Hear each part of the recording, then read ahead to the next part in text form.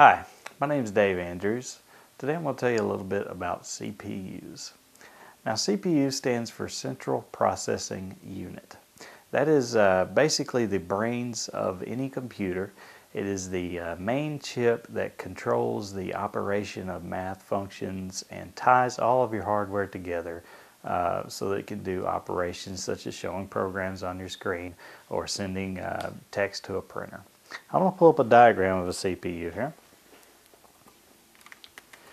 And uh, this is a very simplified diagram, obviously.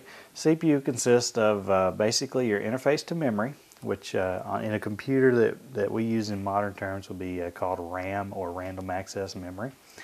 And uh, it has an instruction fetcher which will pull the instruction that is to be executed from memory.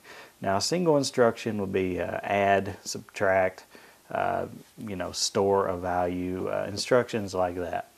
Those then go into the instruction decoder, which uh, is a system by which the processor decides what it's going to do with the data that's being fed to it.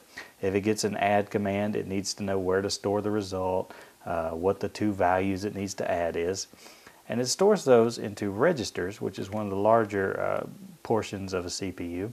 These are basically values that store a single number um, there's, you know, 16 or 32, uh, depending on the size of your processor. There can be a lot of registers, and they will each store um, single numbers that the processor is currently operating on.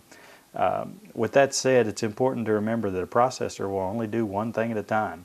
Uh, it only looks like it's doing a bunch of things at a time because it does it so fast. Uh, those registers feed into the arithmetic logic unit inside of a processor or the ALU and that is probably uh, the more complex system inside of a CPU that does uh, addition, subtraction, and uh, all of the different mathematical operations that causes uh, the processor to work. My name is Dave Andrews, and I've just told you a little bit about CPUs.